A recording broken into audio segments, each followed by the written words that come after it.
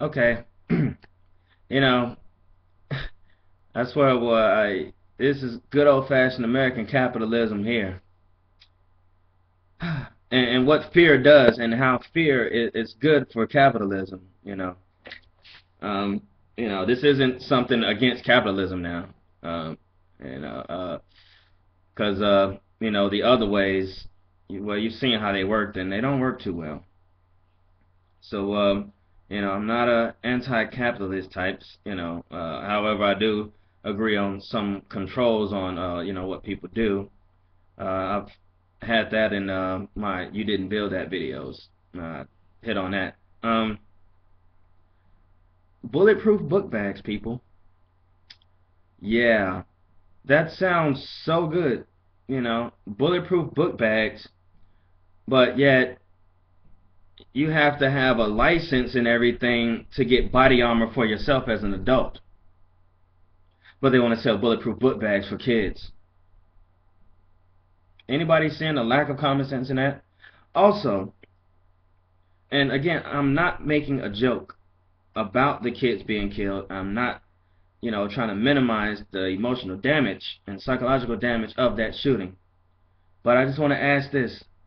How many of those kids were wearing book bags when they were shot? Okay?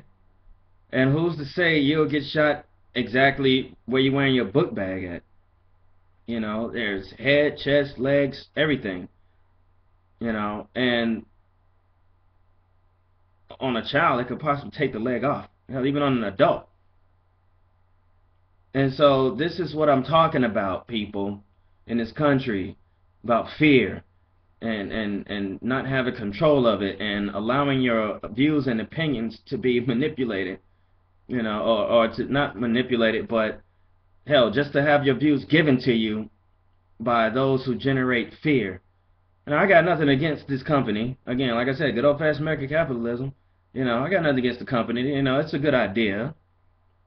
But, you know, it's just this this uh this this need to, you know, the the fear is what I'm talking about that pushes people to do it. And I mean, these things should have been out a long time ago. Then, I mean, I, I don't, I don't ever remember hearing about bulletproof backpacks until now.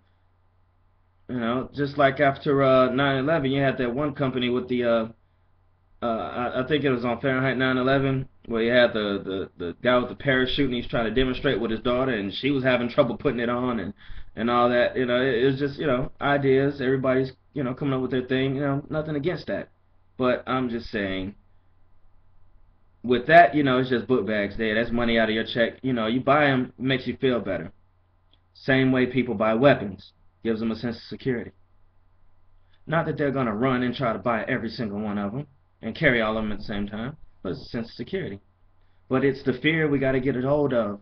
Now, control over our fears. You know, this, this, you know, mass hysterias with things. You know, we can't do it. We can't afford to do it anymore, people.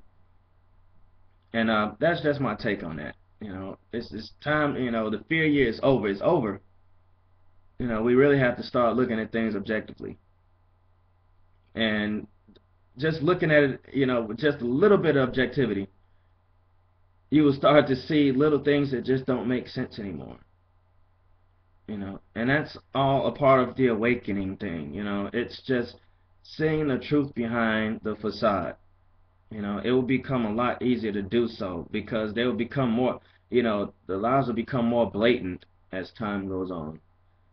And uh, we need to all have our emotions in check and be balanced, okay, through diet, whatever, you know, balanced. Or people's sanity is going to fail them, you know, in a worse way.